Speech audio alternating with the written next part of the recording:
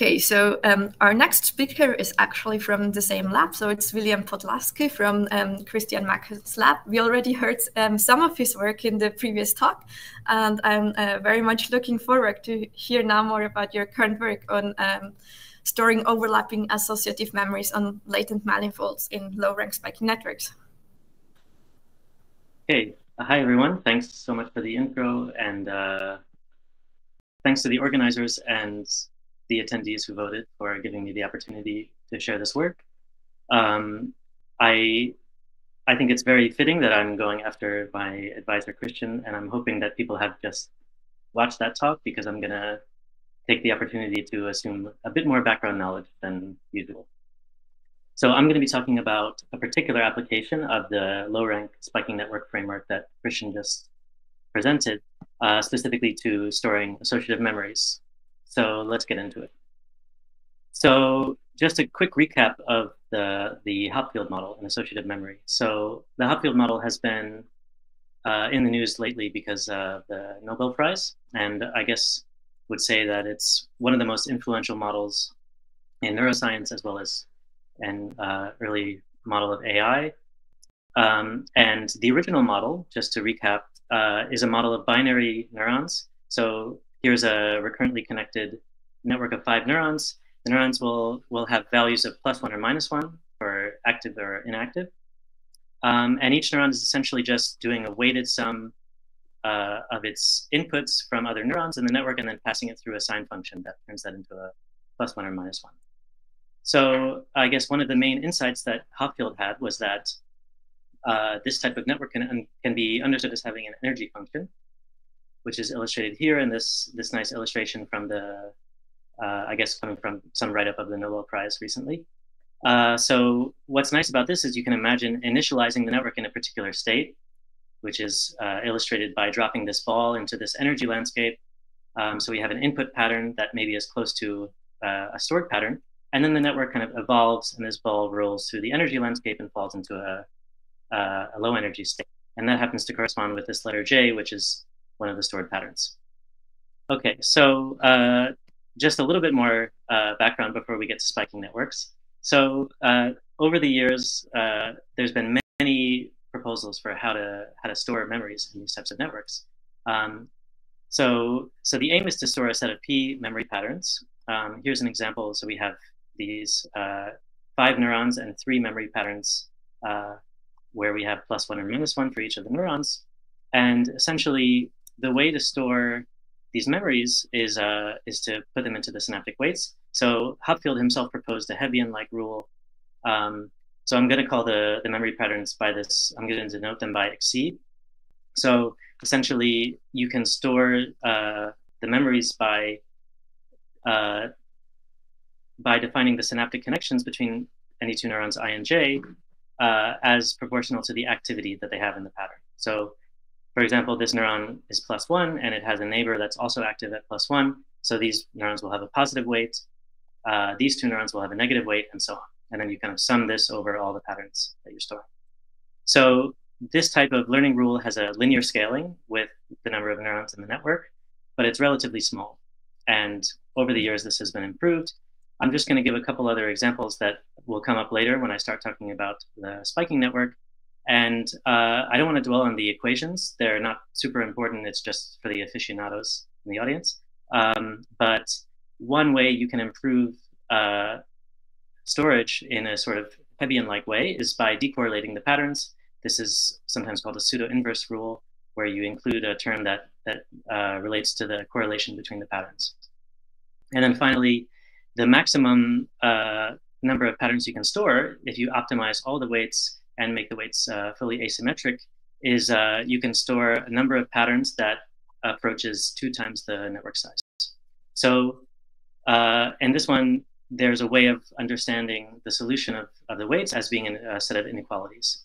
Again, not, not super important, but uh, I'm, if I have time, I'll, I'll discuss how this relates to the, the spiking solution. So overall, uh, there's many solutions for learning the weights in these types of networks um, that that lead to linear scaling with the, the number of neurons. So what about spiking, uh, spiking memory? So uh, I think since the 80s, people have built many, many models and published many results on this. I'm going to do a little bit of a cop out, and you know, I should be referencing many papers here. I'm just going to cite this textbook from Wolfram Gerstner as a nice uh, resource that discusses this, which is already 10 years old. Uh, but I think overall, I would summarize these previous results as being being very nice, very promising, um, but they often apply in, in limited cases. So they don't have a direct mapping, for example, to the original Hopfield model, but they, they require, for example, having sparse patterns and large networks. Um, and often they use approaches like mean field theory. So spiking variability is often just seen as noise in those types of models. Um, so I would argue that there's still room for, uh, for some improvement here and um, there's no general framework for mapping, for example, the original Hopfield model to spiking networks. So I'm going to propose today a, a, new solution that's based on uh, the framework that, that was presented also in the previous talk.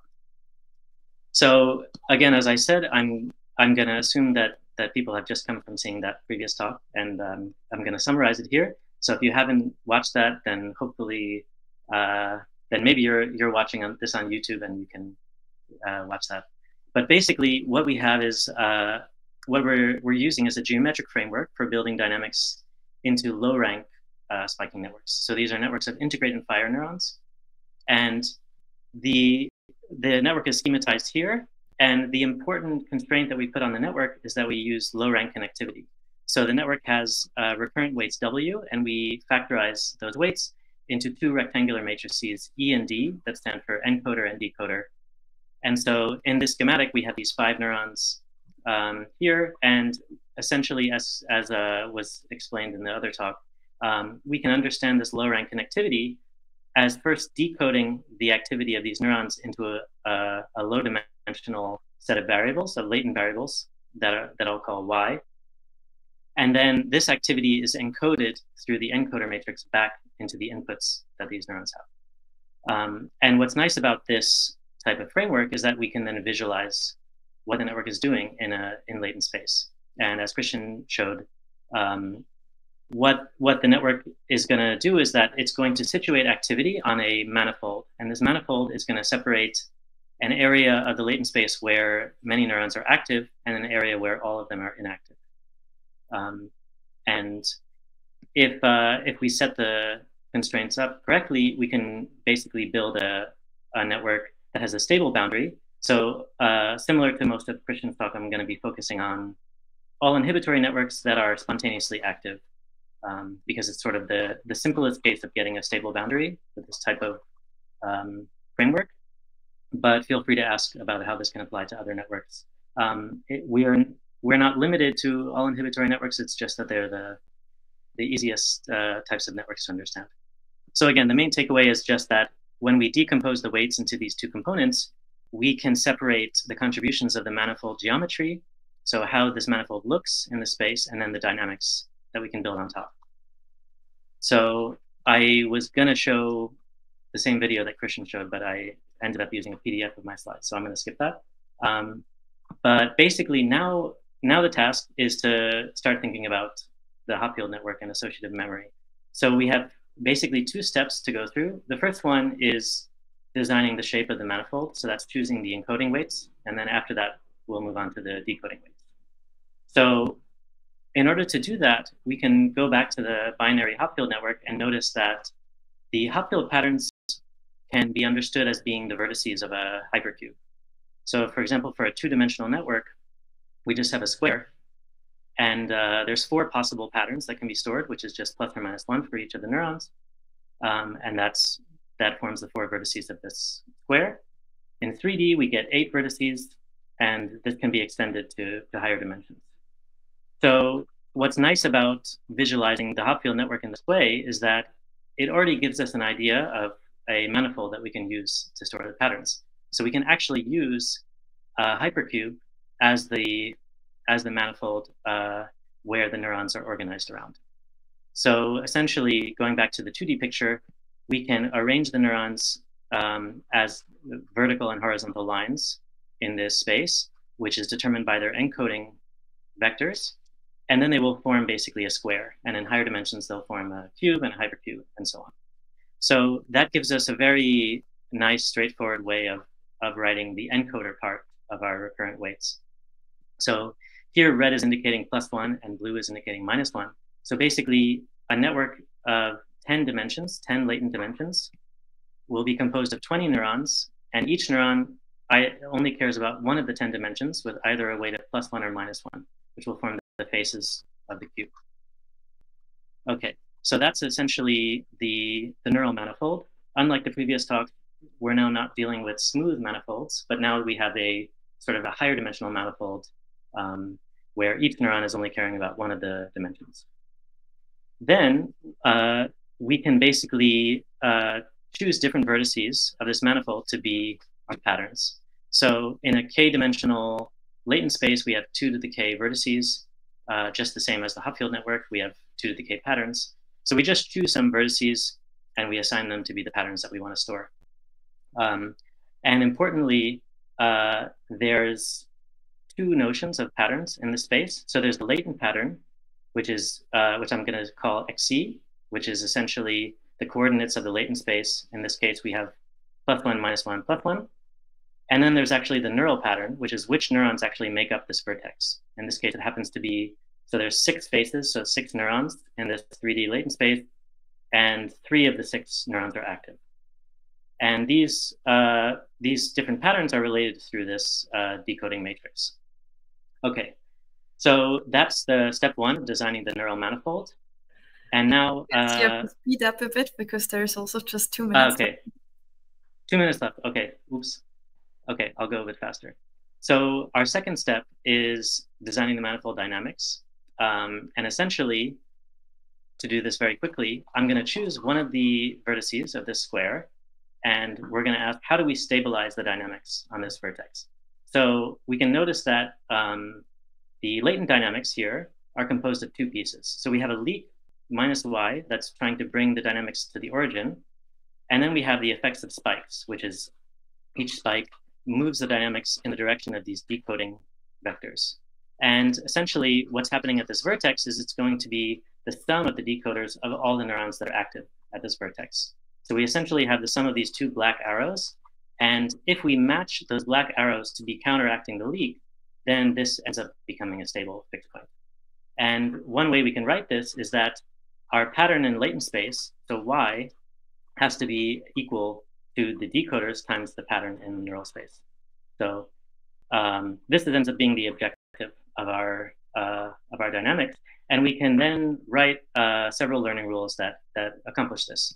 So one thing we can do is we can actually map uh, Hebbian and pseudo inverse learning rules into into the decoding weights. So we, here we can see that we get a term that looks a lot like the Hebbian outer product of the Hopfield network that's then passed through the encoding matrix. And then we can also do a pseudo inverse rule by incorporating the correlation of the patterns. And then lastly, we can also think about doing an asymmetric learning rule by directly optimizing this objective function. So that ends up looking like um, this sort of constrained optimization problem here, where we constrain the decoding weights to exactly satisfy um, this constraint for all of our patterns. Okay, so that's, uh, that's how we set up the decoding weights. And now uh, we can see if this works. So I'm just going to show a couple of quick examples. Um, first, I'm going to start with looking at this asymmetrically optimized weights in a small network of 20 neurons with four patterns. So I'll show you a spike raster, firing rates and latent states, and then I'm also going to show the overlap uh, both in rate space and in latent space. So that's basically the cosine similarity of the neural the neuron's rates with a pattern in rate space, and then the cosine similarity of the latent space with each of the patterns. So we act, so I basically initialize the network close to one of the patterns, and you can see that it forms uh, this sort of stable spike sequence that's continuing to fire. Some of the rates uh, are elevated, other ones are at zero, and then the latent states essentially divide into a scaled version of plus minus one. And one of the patterns has an ever elevated overlap, whereas the other ones are uh, closer to zero. We can do this for the other patterns, and we see that we get successful recall for all four of these patterns. Um, if we do this for the Hebbian matrix, it turns out it doesn't work very well. Um, and what we found, one interesting thing that we found from this work is that just a simple Hebbian rule isn't precise enough actually to stabilize patterns in this network. So lastly, I just want to show what happens when we scale this up. And so we took the pseudo inverse and optimized rules and we simulated uh, a bunch of networks with many patterns, so with increasing uh, storage load, and measured the average overlap. And basically, the point at which this overlap starts to decrease is the maximum number of patterns that can be stored in the network, um, also known as the capacity. So what we found is that we, we have a linear scaling of the capacity of this network with network size. For the pseudo inverse rule, it was around 0.3, and for the optimized rule, it was around 0.5, which is quite uh, substantial capacity, especially considering that um, all the patterns have around half of the neurons shared with any other given pattern. So it's a, a network that's storing very uh, overlapping patterns. Okay, so I think for the sake of time, I'll skip this pattern completion part, but essentially we can also measure pattern completion in the network and we see similar results to the Hopfield network. So uh, with that, I'll finish. So essentially what I've shown you here is an application of this uh, geometric approach to build uh, building interpretable dynamics, interpretable, sorry, dynamics into low rank spiking networks. Um, and it allows us to have a direct mapping to the Hopfield network. Um, and essentially what we've done is we've designed a manifold where we can store uh, attractors on the vertices of this sort of hypercubic manifold, and then we can think about how to get the dynamics to move towards the vertices. So there's a bunch of discussion points that I think I'll skip for the sake of time. Yeah, I think I we should say start that... asking questions. There's uh, okay. only like two minutes left. Yeah. But um, okay. for your uh, I'll yeah, I'll finish there. Thank you. Okay.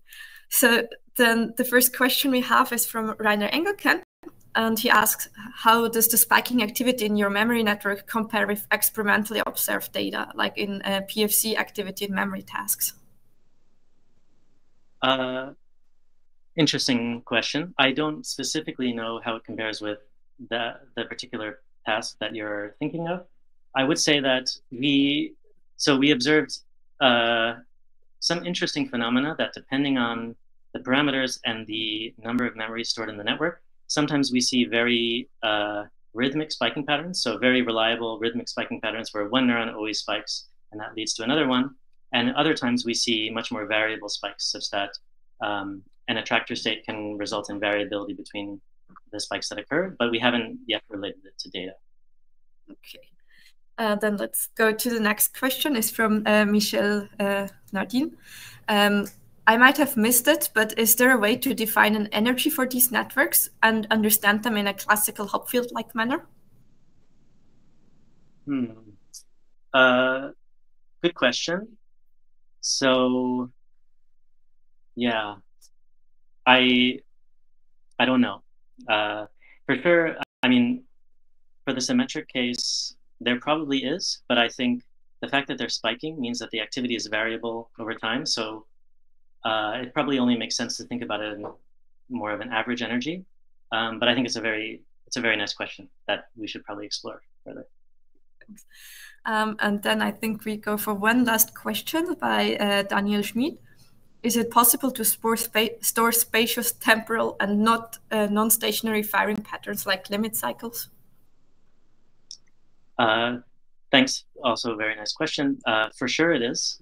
Um, actually, in the in the previous talk from Christian, he showed how you can you can uh, store a limit cycle in the network. And for sure, if we design the dynamics appropriately, we can have the dynamics jump between the vertices instead of staying at one vertex. So I think it's a pretty general framework to, to store different types of dynamics. Okay, thank you very much. I think um, we stop here with the questions and um, Actually, go. We, we can run on a little bit more, I think, because the next session is is a bit complicated to set up. So uh, okay, so then uh, we likely have time for the rest of the questions. It looks like. Um, so the next question is by uh, Nosratullah. Is it uh, possible to include hierarchical patterns um, into these networks um, now that it it is using the concept of manifolds? Uh, I think I don't uh, understand exactly what the this person means by hierarchical patterns, uh, unfortunately, but uh, I mm -hmm. yeah I don't know. Maybe they can. Yeah, I, I they could think maybe about. Yeah, maybe they can clarify in the chat and we come back later. Or otherwise, maybe they mean something like uh, patterns that um, belong to different categories, and there are sub patterns in one of these categories. Not sure whether this. Yeah. It could be. Yeah. I. It's a. It's a very interesting question. I think. I mean, yeah. I guess hierarchical has many meanings. So, um, and I know that it's it's used to describe different types of associative memory, but uh, I'm not exactly sure. Okay. Apply here. So maybe let's wait if there is a clarification in the chat, and otherwise, in the meantime, let's go on to Julia's question. Um, have you considered asymmetric learning rules, and how would it affect learning? Uh, yes, thanks for the question. Uh, so to clarify, the actually, I can. Are my slides still showing? Yes, they're still there. okay. So this uh, optimized learning rule shown here is actually an asymmetric rule. So it's it doesn't assume symmetric connectivity, and that actually is the rule that we found works the best. Um, and that that said, it still it still finds solutions that are heavily symmetric. It's just uh, that it allows for asymmetric connections. Okay. Um, and then the last question is from Aditi. Um, is there a way to know how connection probabilities change with number of patterns learned by the network? Um, yeah, I mean, so I would I would say generally there's a lot of interesting things to explore in the connectivity that we haven't done yet, um, and I think thinking about connection strength and probability is an interesting one there. Um, the network that we end up with is all-to-all connected. So uh, generally speaking, there will always be a connection between neurons. Um, but we also have ideas about how to make it more sparse. Okay, so um, maybe is um, the flash talk session now ready? Or uh, if it's not ready, it's very, very soon going to be ready. So I think we can close this session out. And okay everyone just hang around for a few minutes. If you don't get immediately moved over to the next session, it won't be long. Then thank you again for the talk, Bill. It was really nice to hear about this. Thanks a lot.